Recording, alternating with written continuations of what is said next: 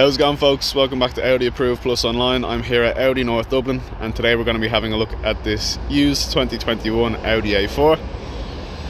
This is the 30 TDI model meaning it has a 2 litre diesel engine giving it 136 horsepower and it has an S-tronic automatic transmission.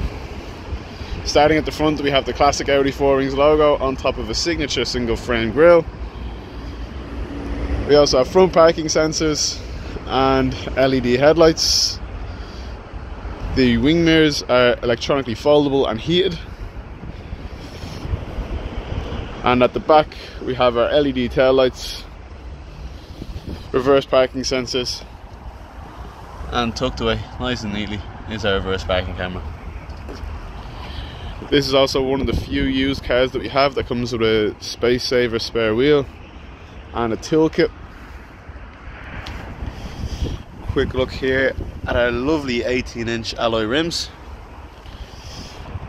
This car is finished in a very nice Navarra blue, giving it that nice metallic shine.